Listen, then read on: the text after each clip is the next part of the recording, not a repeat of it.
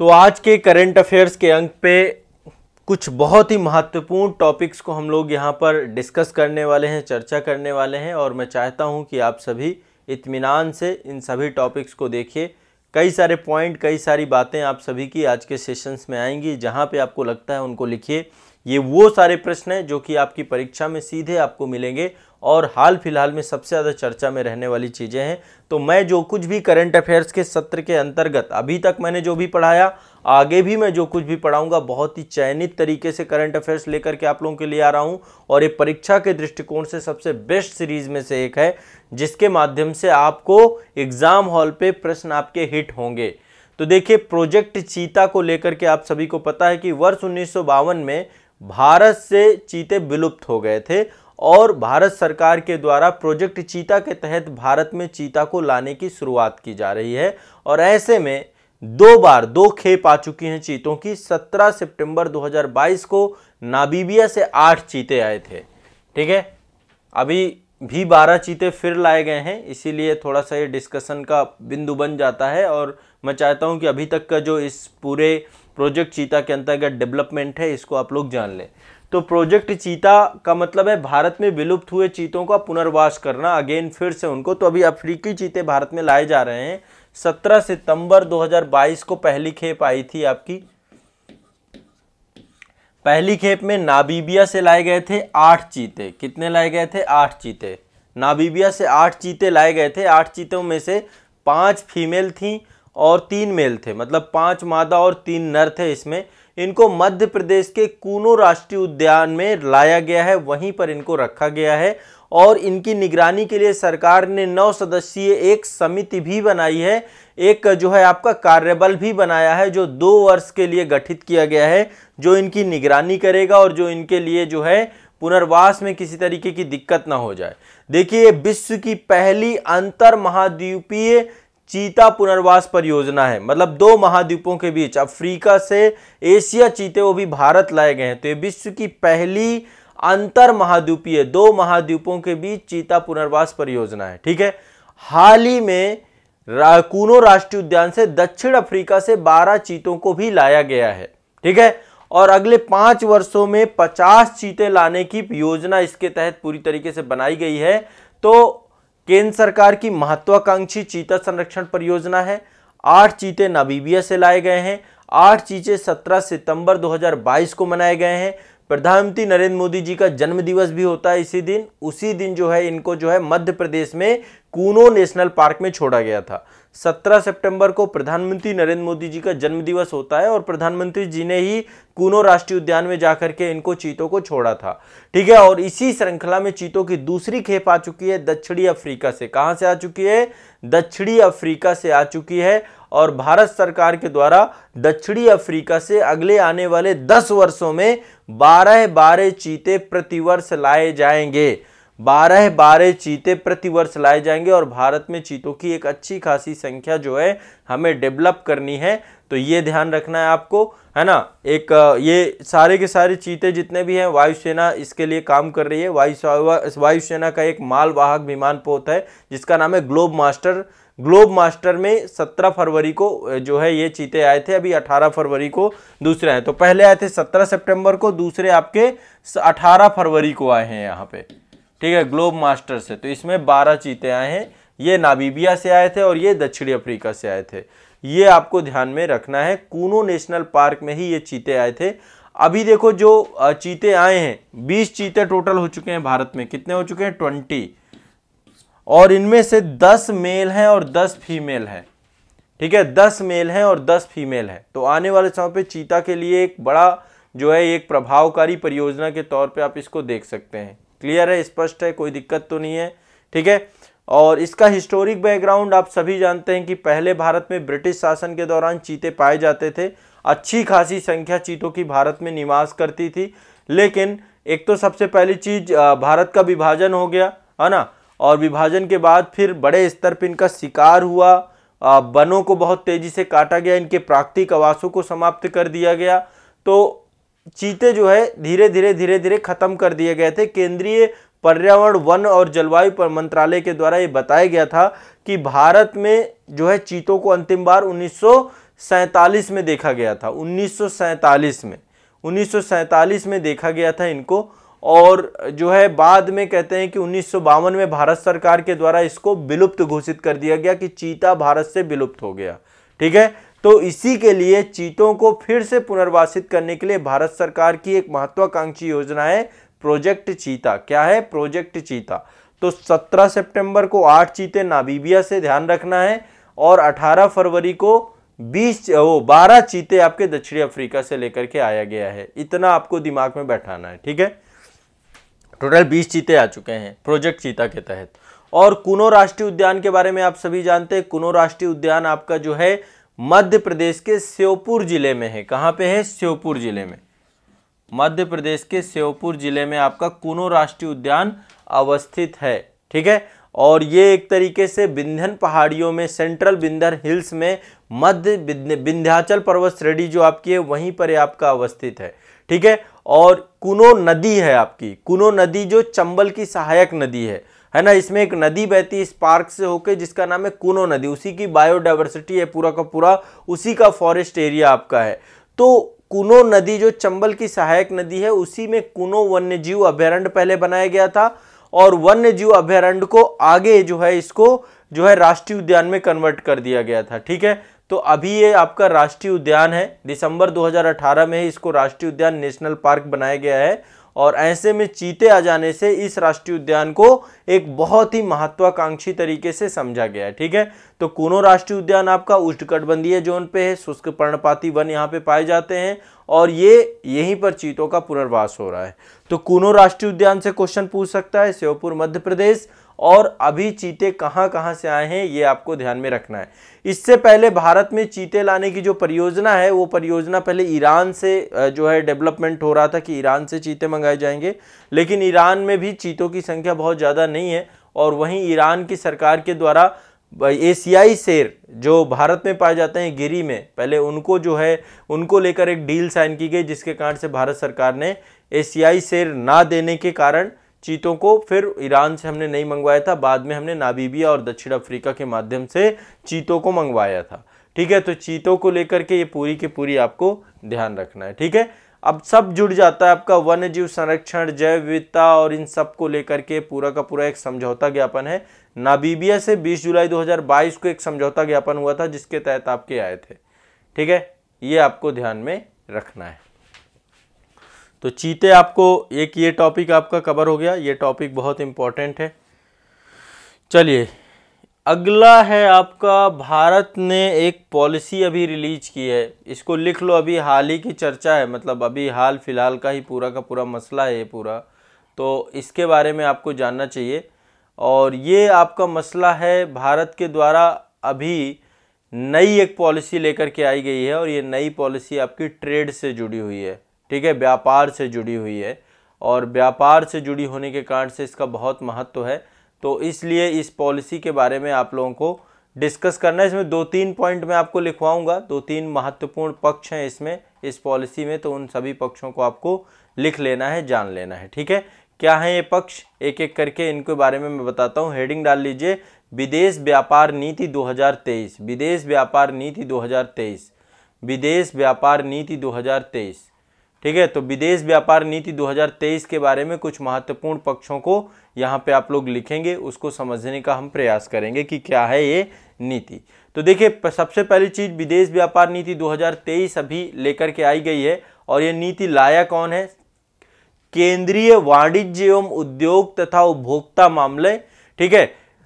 केंद्रीय वाणिज्य एवं उद्योग तथा उपभोक्ता मामले के मंत्री जो आपके हैं, ये आपके पीयूष गोयल साहब हैं और इनके द्वारा जो है फॉरेन ट्रेड पॉलिसी जो है रिलीज़ की रिलीज़ की गई है। अब इसके बहुत सारे टारगेट बनाए गए हैं, ठीक है? देखिए एक्सपोर्ट हम करते हैं, हर साल एक्सपोर्ट करते हैं और एक्सपोर्ट की नीति को और विश्वसनीय बनाने के लिए, भारत का एक्सपोर्ट को और बढ़ाने के लिए ये पूरी की पूरी पॉलिसी लाई गई है। इसके तहत बहुत सारी छूटें प्रदान की गई हैं, सब्सिडी प्रदान की गई हैं। एक विजन क्रिएट किया गया है। तो सबसे पहला विजन जो इसका है कि भारत 2030 तक अपने एक्सपोर्ट को कितना बढ़ा देगा? दो ट्रिलियन अमेरिकी डॉलर तक बढ़ा देगा। दो ट्रिलियन, पहला तो आपको यह याद होना चाहिए। भारत अपने एक्सपोर्ट को क्या कर देगा? दो ट्रिलियन अमेरिकी डॉलर तक बढ़ा देगा। अमेरिकी डॉलर तक बढ़ा देगा। पहले तो ये आपको ध्यान रखना है, ये डायरेक्टली पूछा जा सकता है कि भारत अपने इस समय के तहत लक्ष्य क्या है? 2030 तक भारत के निर्यात को हम दो ट्रिलियन अमेरिकी डॉलर तक बढ़ा देंगे, जिसमें वस्तु और सेवा दोनों क्षेत्रों का एक्सपोर्ट सम्मिलित होगा। वस्तुएँ भी गुड्स भी होंगी और सर्विसेज़ भी होंगे, ठीक है? तो एक लक्ष्य हमारा ये है। दूसरा जो है, हम उन देशों के मामले में विशेष रूप से प्रयास करेंगे जिनके साथ भारत का व्यापार अधिशेष बहुत ज़्यादा है, जैसे चीन के साथ व्यापार अधिशेष ज़्यादा है तो जिन कंट्रीज़ के साथ हमारा ट्रेड डिफिसिट बहुत ज़्यादा है है ना? कई बार क्या होता है, कुछ कंट्री से हम आयात ज़्यादा करवात करते हैं और निर्यात कम करते हैं। तो हम प्रयास यही करेंगे कि निर्यात हम उन देशों को ज़्यादा प्राथमिकता दें, जो देश जो है तो जो देश आपके, जिनसे भारत का व्यापार घाटा ज़्यादा है तो हम उन देशों को पहली प्राथमिकता में रहेंगे। दूसरा लक्ष्य हमारा ये है। ठीक है? और तीसरा, सरकार का लक्ष्य है कि सीमा पर जब व्यापार हो हमारे तो व्यापार में भारतीय मुद्रा का उपयोग हो। भारतीय मुद्रा के उपयोग को प्रोत्साहित करना और इसके तहत जो है, जुलाई 2022 में आरबीआई के द्वारा एक नए भुगतान निपटान ढांचे की सहायता जो बनाई गई है, उसका ही उपयोग करना। तो तीन टारगेट हैं। एक तो दो ट्रिलियन निर्यात कर देना, दो ट्रिलियन अमेरिकी डॉलर 2030 तक दूसरा, उन देशों के साथ ज़्यादा प्राथमिकता देना, जिन देशों के साथ भारत का ट्रेड डिफिसिट बहुत ज़्यादा है, और दूसरा, भारतीय रुपये को हम प्रोत्साहित करें अपने ट्रेड को लेकर के। ये आपको ध्यान में रखना है। अब देखिए, इसके तहत अभी टोटल निर्यात को लेकर के उनतालीस शहर बनाए गए हैं। उनतालीस शहरों के अलावा चार नए नए शहर और जोड़े गए हैं, जिनमें हम निर्यात प्रोत्साहन के तौर पे काम करेंगे। तो मौजूदा उनतालीस शहरों के अलावा चार नए शहरों को जो है निर्यात उत्कृष्टता वाले शहर डेवलप किया गया है, ठीक है? निर्यात उत्कृष्टता वाले शहर। कौन कौन से हैं चार शहर? का नाम लिख लीजिएगा। एक तो फरीदाबाद है। फरीदाबाद हरियाणा में पड़ता है। दिल्ली, हरियाणा बॉर्डर है आपका। फरीदाबाद के बाद दूसरा है मिर्जापुर। उत्तर प्रदेश, मिर्जापुर। और फिर है आपका मुरादाबाद। मुरादाबाद। मुरादाबाद। हाँ। मुरादाबाद और एक है वाराणसी। तो ये तीन तो उत्तर प्रदेश के हैं। वाराणसी। ठीक है, ये ध्यान रखना है। तीन आपके यूपी से हैं ये। टोटल अभी उनतालीस आपके थे। अब टोटल तैतालीस हो जाएँगे। निर्यात उत्कृष्टता वाले शहर के तौर पे इनको डेवलप किया जाएगा। क्या किया जाएगा? निर्यात उत्कृष्टता वाले शहर के रूप में इनको डेवलप किया जाएगा, ये ध्यान रखना है, ठीक है?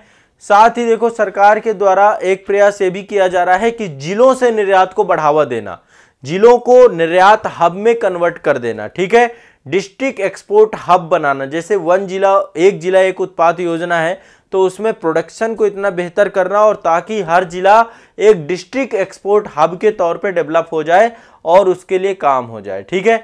इसके अलावा सरकार चाहती कि ई कॉमर्स का प्रयोग किया जाए। सबसे ज़्यादा काम किया जाए ई कॉमर्स साइट्स के माध्यम से हम एक्सपोर्ट को बढ़ावा दें।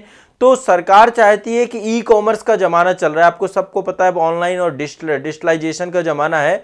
तो सरकार चाहती है 2030 तक ई कॉमर्स के क्षेत्र में जो निर्यात है उसको 200 से 300 बिलियन अमेरिकी डॉलर के बीच में उसको करने का अनुमान सरकार के द्वारा बनाया गया है। इसके अलावा भुगतान समाधान प्रणाली पे काम करना, बही खाता पद्धति पे काम करना, निर्यात पात्रता जैसे संबंधी कई घटनों पे काम करना, इन सब पे ई कॉमर्स के क्षेत्र में सरकार काम करेगी।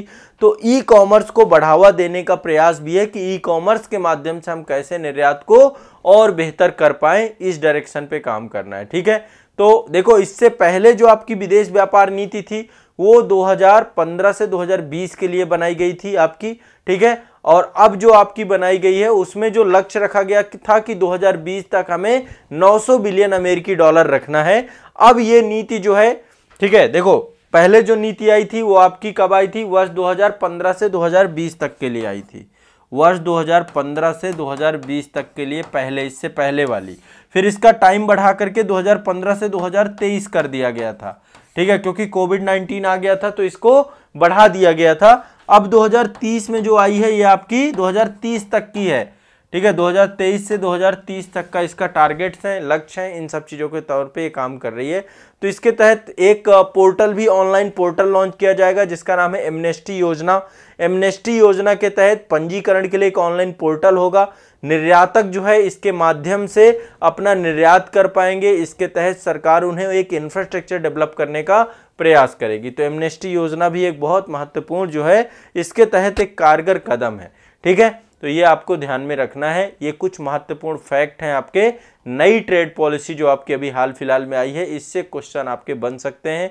एक तो आपको टारगेट्स याद रखना है, दूसरा जो नए शहर आपके जोड़े गए हैं, इनको याद रखना है। दूसरा ई कॉमर्स को लेकर के सरकार के द्वारा जो काम की गई है, साथ ही सरकार विभिन्न प्रकार की छूट प्रदान करेगी, सरकार विभिन्न प्रकार का सहयोग करेगी निर्यातकों को, चाहे वो निर्यातक हो, चाहे राज्य हो, चाहे ज़िले हों, चाहे वो इंडिया लेवल पे एक्सपोर्ट हो रहा हो। हर एक एक्सपोर्ट को सरकार क्या करेगी? साथ ही सरकार क्या चाहती है? व्यापार को सुगम बनाया जाए लेन देन की लागत को कम किया जाए ई कॉमर्स को बढ़ावा दिया जाए। विशेष तौर पे रसायन के क्षेत्र में जो आपके बहुत सारे जो प्रौद्योगिकी है, बहुत सारे जो उपकरण है, उन सब क्षेत्रों में जो है ई कॉमर्स को प्रायोरिटी देते हुए जो है एक्सपोर्ट को और ज़्यादा तेज़ी और गति लाई जाए।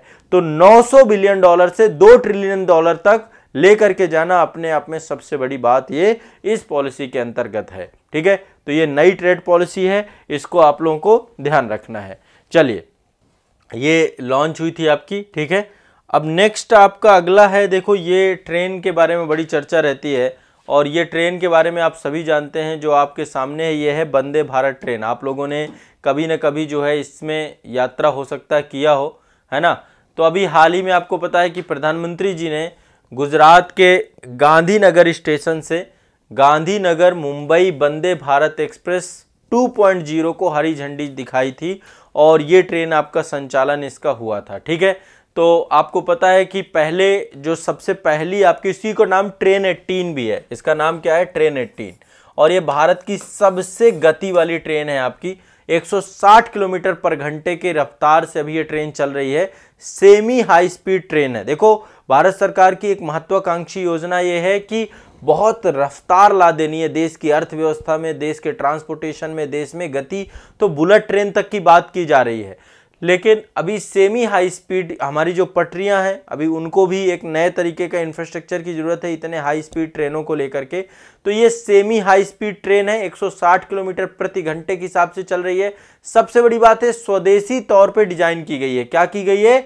स्वदेशी तौर पे डिज़ाइन की गई है और ये एक तरीके से अब पूरे भारत में जो है वंदे भारत ट्रेनों को चलाने की पूरी तैयारी है। 400 वंदे भारत ट्रेनों को चलाना है आपको। कितना चलाना है?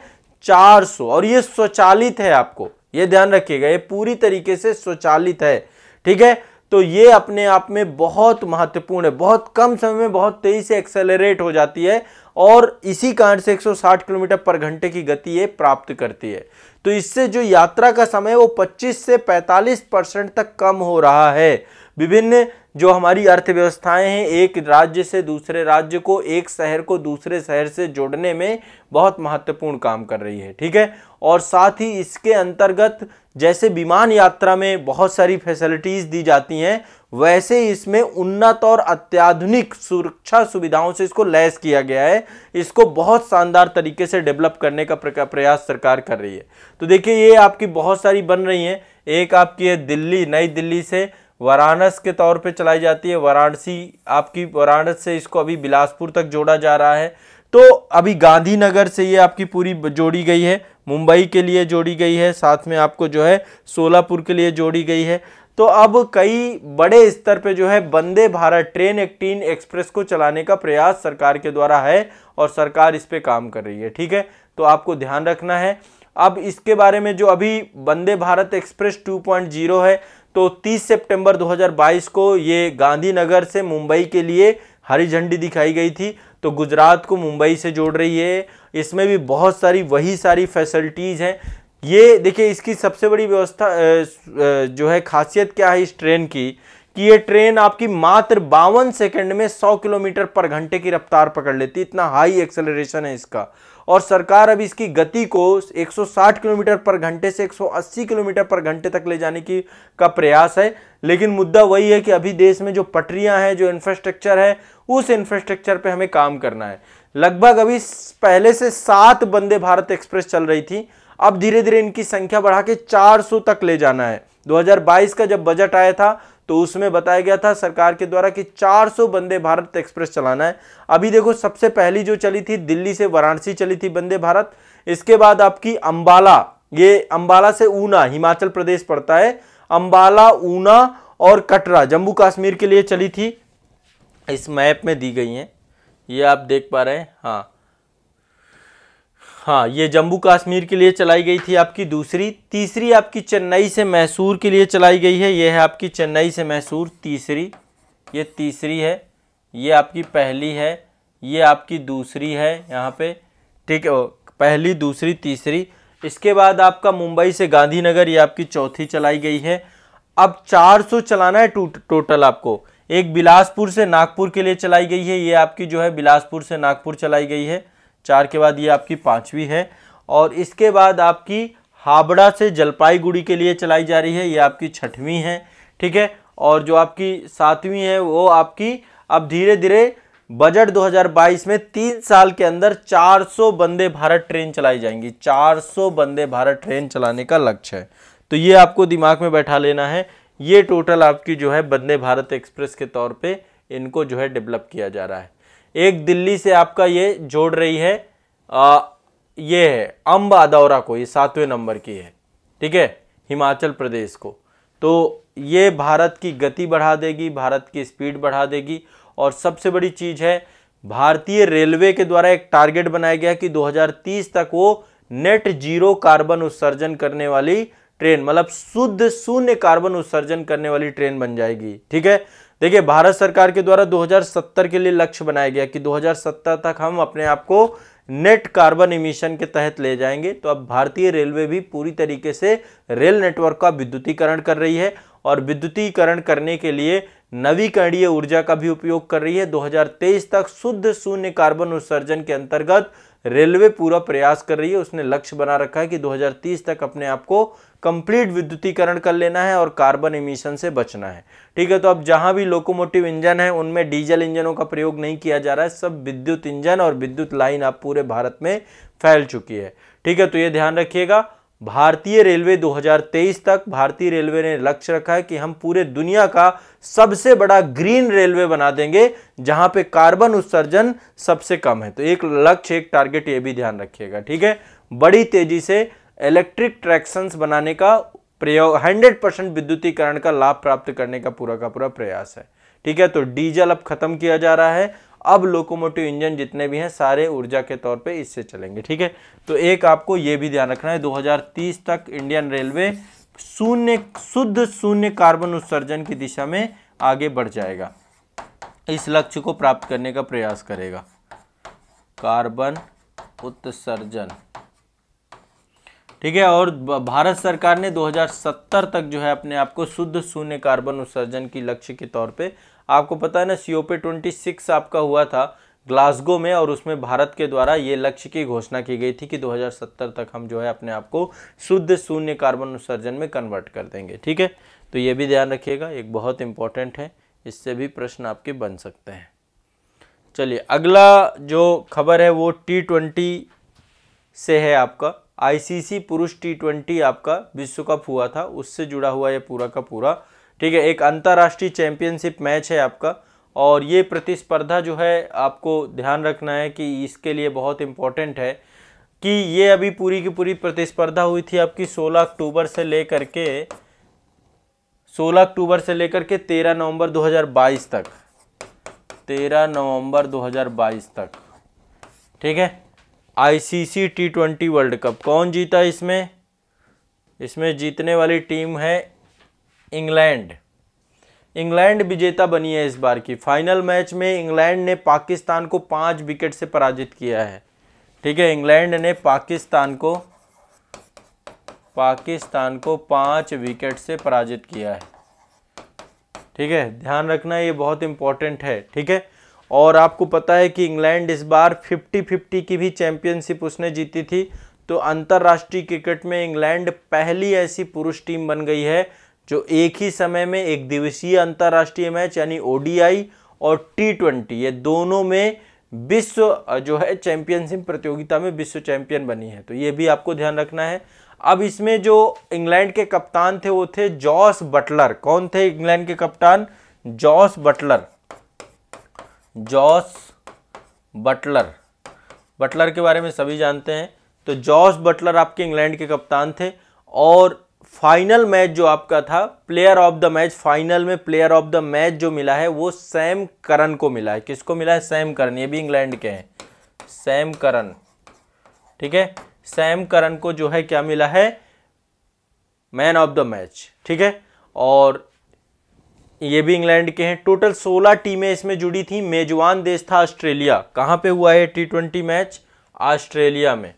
ठीक है? ऑस्ट्रेलिया में हुआ है आपका ये टी ट्वेंटी मैच ठीक है तो इससे भी प्रश्न पूछा जा सकता है। देखो, खेल परिदृश्य से एक दो टॉपिक मैं आपके ले ले रहा हूँ, ताकि आपको जो है, जो भी खेल परिदृश्य होंगे, सारे मैं यहाँ पे कवर कराऊँगा तो ये आपको ध्यान रखना है। ठीक है, आपका इससे प्रश्न पूछा जा सकता है कि कौन जीता, कौन नहीं जीता। तो उप विजेता पाकिस्तान थी, ठीक है, इसका जो फाइनल मैच हुआ था, वो मेलबर्न में हुआ था। मेलबर्न क्रिकेट ग्राउंड है, वहाँ पर आपका इसका फाइनल हुआ था, ठीक है। टोटल सोलह टीमें थी, पैंतालीस मैच हुए थे। और आपको पता है भारत की स्थिति, भारत ने पहला टी ट्वेंटी जीता था, ठीक है? भारत ने पहला टी ट्वेंटी जीता था। अब इसमें टूर्नामेंट में सबसे ज़्यादा रन बनाए थे विराट कोहली ने। भारतीय क्रिकेट के कप्तान भी रहे हैं पहले, अब तो कप्तानी चली गई। तो विराट कोहली जी ने सबसे ज़्यादा रन दो सौ छियानवे रन बनाए थे इस पूरे उसमें। सबसे ज़्यादा जो है विकेट लिए थे बानिंदू हसारंगा, ये श्रीलंका के हैं। पंद्रह विकेट जो है इन्होंने लिए थे। वानिंदु हसारंगा, है ना? और सबसे ज़्यादा रन बनाने वाले पर्सन इसमें कि सबसे ज़्यादा उच्चतम हाई स्कोर किसका है? वो है रायली रोसू, दक्षिणी अफ्रीका के 109 रन इन्होंने बनाया था बांग्लादेश के विरुद्ध। तो ये सब छोटी मोटी चीज़ें, इनसे ज़्यादा प्रश्न नहीं आते, बस आपको रफली याद रखना है कि इंग्लैंड और पाकिस्तान के बीच में जो है आपका ये मैच हुआ था, जिसमें से इंग्लैंड आपका इस मैच को जीतने वाला देशों में से एक है। ठीक है, बाकी बहुत सारी चीज़ें हैं, उन सब में जाएँगे तो फिर परेशान हो जाएँगे हम लोग, ठीक है? चलिए। इसके बाद अगला जो करंट अफेयर्स है आपका, ये देखिए, ये विनर्स हैं। 2007 से चालू हुआ था आपका टी ट्वेंटी वर्ल्ड कप 2007 में आपका इंडिया जीता था। 2009 में फिर हुआ है, पाकिस्तान जीता है। 2010 में फिर इंग्लैंड जीता है। इंग्लैंड दो बार जो है जीत चुका टी ट्वेंटी वर्ल्ड कप 2012 में वेस्ट इंडीज जीता है। 2014 में श्रीलंका जीता है। 2016 में अगेन वेस्ट इंडीज भी दो बार जीत चुका है। 2021 में ऑस्ट्रेलिया जीता था और 2022 में इंग्लैंड जीता है, ठीक है? तो इंग्लैंड आपका ये जीत गया। अब देखो, एक डिस्कशन आपका न्यू डेवलपमेंट बैंक से है। ब्रिक्स एक संस्था है। ब्रिक्स के बारे में आप सभी जानते होंगे। ब्रिक्स के द्वारा ही एक बैंक बनाया गया जिसका नाम है न्यू डेवलपमेंट बैंक तो अभी एक नए सदस्य के तौर पे इसमें सम्मिलित हुआ है मिस्र। ठीक है, मिस्र जो है न्यू डेवलपमेंट बैंक का नया सदस्य बना है। तो देखिए ऑलरेडी ये पाँच देश तो न्यू डेवलपमेंट बैंक के सदस्य है ही। पाँच देश कौन कौन से हैं? ये ब्राज़ील है, रसिया है, इंडिया है, चाइना है और साउथ अफ्रीका। इसके साथ टोटल चार सदस्य और जुड़ चुके हैं, ठीक है? चार सदस्य और जुड़ चुके हैं, मैं चारों के नाम बता दूँगा। देखो, सबसे पहली बात, ब्रिक्स बैंक का जो न्यू डेवलपमेंट बैंक है, ये आपका, इसका मुख्यालय है संघाई में। कहाँ मुख्यालय है? संघाई चीन में, इसका मुख्यालय है। कहाँ पे है? संघाई चीन में। और इसके अध्यक्ष जो हैं, वो हैं Dilma Rousseff. Dilma Rousseff. Dilma Rousseff. ये इसके अध्यक्ष हैं, ठीक है? ब्राज़ील के पहले पूर्व राष्ट्रपति थे, अब इनको इसका अध्यक्ष बना दिया गया है, ठीक है? तो मिस्र जो है, इजिप्ट जो है, ब्रिक्स बैंक का, ब्रिक्स न्यू डेवलपमेंट बैंक का चौथे सदस्य के रूप में नामित हुआ। इससे पहले तीन सदस्य देश कौन से थे? एक तो बांग्लादेश था। बांग्लादेश, दूसरा उरुग्वे उरुग्वे, ठीक है? बांग्लादेश, उरुग्वे और यूएई यूएई। अब चौथा हो गया है मिस्र। तो इससे भी क्वेश्चन आपका पूछ सकता है कि न्यू डेवलपमेंट बैंक के तहत जो है तो आपको सिंपल सी बात है ये बैंक क्या करता है? सतत विकास के लिए, बुनियादी ढांचा परियोजनाओं के लिए, वित्त पोषण प्रदान करता है सदस्य देशों के लिए। ठीक है तो ये ब्रिक्स कंट्रीज़ के द्वारा इसको डेवलप किया गया है, बनाया गया है। तो ये आपको ध्यान रखना है, इसमें ये लिस्ट होगी, ये है आपकी। टोटल आपके इसके नौ सदस्य देश कौन कौन से हैं? नंबर एक में ये ब्राज़ील है, ब्रिक्स रूस है, भारत है, चीन है, दक्षिण अफ्रीका। इनके द्वारा जो है ये बनाया गया था। बांग्लादेश, संयुक्त अरब अमीरात, मिस्र और उरुग्वे। तो मिस्र आपका भी लेटेस्ट नए सदस्य के तौर पे बना है, ठीक है? मुख्यालय संघाई पे है। स्थापना 2014 में की गई थी ब्रिक्स न्यू डेवलपमेंट बैंक की। वर्तमान में नौ सदस्य हैं। डिल्मा रूसे ब्राज़ील की पूर्व राष्ट्रपति हैं इसमें, ठीक है? चलिए, आज के लिए इतना ही करेंट अफेयर्स हैं। बाकी अब करेंगे हम लोग नेक्स्ट सेशन में। आज के लिए इतना ही रखेंगे। ठीक है तो आज देखिए कई सारे टॉपिक हो गए आपके। एक तो ये चीता प्रोजेक्ट चीता हो गया आपका। प्रोजेक्ट चीता के बाद आपका ये नई व्यापार नीति, बहुत इंपॉर्टेंट टॉपिक है। इसके बाद आपका ये वंदे भारत ट्रेन एटीन के बारे में हो गया। ट्रेन एटीन के बाद जो है आपका टी ट्वेंटी वर्ल्ड कप हो गया और इसके बाद आपका न्यू डेवलपमेंट बैंक से जुड़ा हो गया, ठीक है? तो पाँच टॉपिक आपके कंप्लीट हो गए और आप लोग एक बार जो है बताइए कमेंट में कैसा आपको अनुभव हो रहा है, चीज़ें डे बाई डे आप सीख पा रहे हैं। इन सब के नोट्स ज़रूर बनाइएगा। आप में से बहुत सारे बच्चे ऐसे हैं जो कि नोट्स नहीं बना रहे हैं तो नोट्स ज़रूर बना लीजिएगा, नहीं तो फिर रिवाइज़ क्या करोगे? सबसे बड़ी चीज़ है कि आप रिवीजन कितना कर रहे हो, सबसे महत्वपूर्ण मुद्दा है। ठीक है तो आपको क्या करना है? रिवीजन करना है। सबसे बड़ी चीज़ है कि रिवीजन आपको करना है। रिवीजन करना है। बस ये दिमाग में बैठा लीजिए। इसका मल्टीपल टाइम पे। जो भी पढ़ा रहा हूँ, इतना पर्याप्त है। अब एक चीज़ बताओ।